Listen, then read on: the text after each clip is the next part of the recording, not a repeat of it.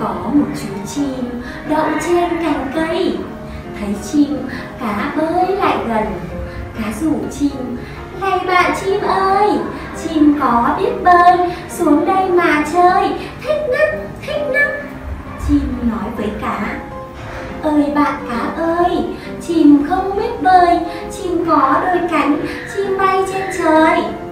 Cá suy nghĩ một lát, rồi bảo chim không sao chim ơi, cá bơi dưới nước, chim bay trên trời, ta cùng đi chơi, thích lắm, thích lắm. Thế là cá và chim rủ nhau đi chơi. Cá bơi dưới nước, chim bay trên trời. Câu chuyện cô kể đến đây là hết rồi.